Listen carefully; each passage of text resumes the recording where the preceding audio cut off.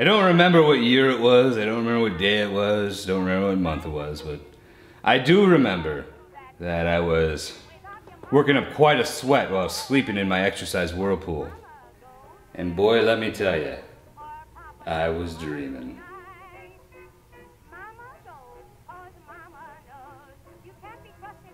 Then my wife hands me the phone. She says it's President Eisenhower on the line. And I grab the phone. But then I dropped the phone into the whirlpool because I had been drinking. A week later, we were able to get a new phone, and the president called back.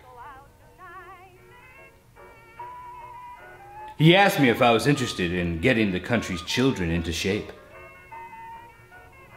But before I could say yes, I dropped my new phone into the whirlpool again.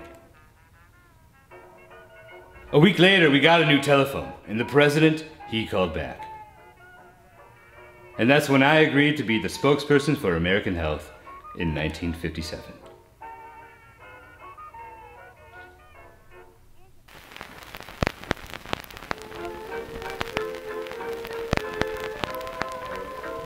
Listen up,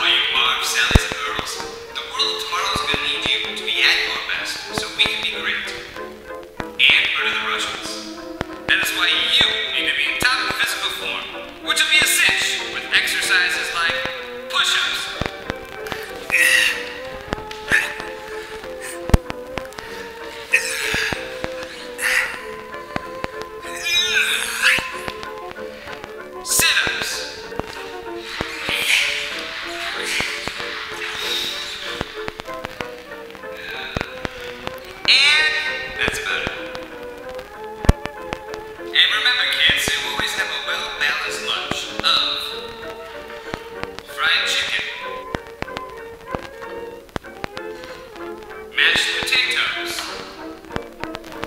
and a bottle of suds.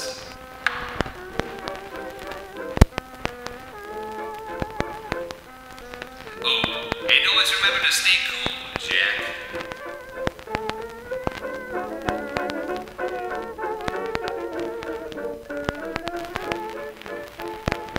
After that, fitness caught on like a dry wooden barn in hell. Before me, no one even knew what a push up was. And now some people, they do them every day.